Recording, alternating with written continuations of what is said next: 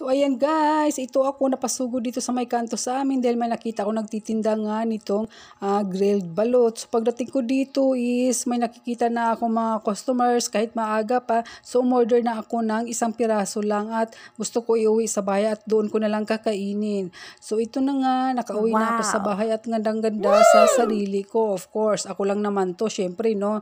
Oo, so ito na nga sayang yung uh, sabaw ng balot kasi natatapon siya. So masasabi ko lang dito is hindi ako na-amaze at hindi ako nasasarapan. So parang nagdadala lang nito is uh, yung chili paste. Uh, uh, mas, pero mas gustuhin ko pa rin yung uh, suka talaga at tsaka asin. O mas na, mas nalalasahan ko yung uh, balot talaga kaysa dito sa chili paste na to, yun lang nagdala nito ay ang anghang. So kung i-rate ko to out of 10, honestly, 4 lang talaga yung maibibigay ko. Kasi hindi talaga ako natutuwa. I mean, hindi ako nasasarapan. Promise! Gago!